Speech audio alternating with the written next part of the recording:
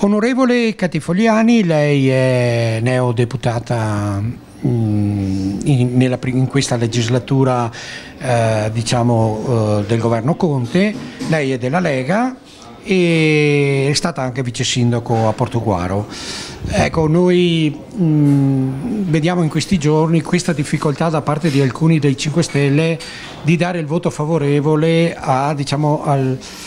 a una questione sì tecnica, ma comunque per salvare Salvini, vogliamo dire, perché Salvini non venga processato, comunque no, che la discussione finisca. Qual è la sua impressione però? Di cosa sta veramente succedendo lì che lei è proprio in persona? In realtà questo è un aspetto molto tecnico, non è una questione di indennità o di altre cose, di immunità scusate, o di altre cose, è proprio un problema tecnico. Lui ha agito come eh, ministro, quindi il suo incarico era un incarico esclusivamente politico dato da un Consiglio dei Ministri e con un accordo con l'altro gruppo politico con cui governiamo. Pertanto il suo ruolo in questo caso non era del tutto personale ma era esclusivamente politico. Quindi è questo il, il punto un po' eh, che non si capiva bene eh, quale posizione dovevamo prendere. Adesso è molto chiaro, credo che anche 5 Stelle abbia ben chiarito, visto che eh, sia Conte, sia il, il, Premier Conte, sia Toninelli, il Ministro Toninelli, sia anche il Vice Premier Di Maio hanno assolutamente appoggiato la causa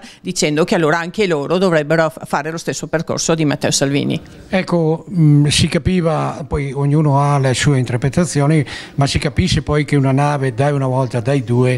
ci sia un tentativo di voler sbarcare. Eh, cioè, si, si, nota, insomma, ecco, diciamo che il Partito Democratico in questo senso vi dà una grossa mano per avere sondaggi. Beh, direi proprio di sì, anche perché eh, vediamo che noi eh, in questa situazione stiamo aumentando come consenso a livello di sondaggio, ovviamente non sono dati eh, di voto, però a livello di sondaggi, quindi significa che noi stiamo facendo quello che le persone ci chiedono, non è che stiamo facendo una cosa perché interessa a noi a livello personale, lo stiamo facendo esclusivamente perché la richiesta dei cittadini. E quindi anche dopo una legge di bilancio come è successo eh, adesso che abbiamo approvato una legge di solito c'è un calo fisiologico del, dell'approvazione del governo, in questo caso non c'è stato, anzi noi proprio come Lega stiamo in aumento, quindi significa che questo è quello che ci chiedono le persone. Ecco, lei è stata vice sindaco di Portoguaro ma insomma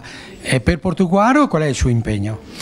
Allora guardi, io in realtà adesso ho un impegno che è, è territoriale oltre che Portoguaro, come ha visto abbiamo fatto diverse iniziative, tra cui quelle del contributo fisso a tutti i comuni sotto i 20.000 abitanti, che qui da noi sono tutti tranne Portoguaro, tra le altre cose, anche la possibilità di utilizzare l'avanzo di amministrazione dei comuni, questa è un'altra grande possibilità che abbiamo dato ai comuni da poter investire, poi c'è tutta la parte dei controlli e della sicurezza, come ad esempio il controllo delle droghe nelle scuole, dove coi cani andiamo a verificare se ci sono delle, delle, dei pusher o ci sono qualcuno che spaccia droga e purtroppo riscontriamo che ce ne sono e quindi queste sono le, le grosse cose importanti che anche se vengono fatte a livello nazionale hanno un riscontro importante sul nostro territorio.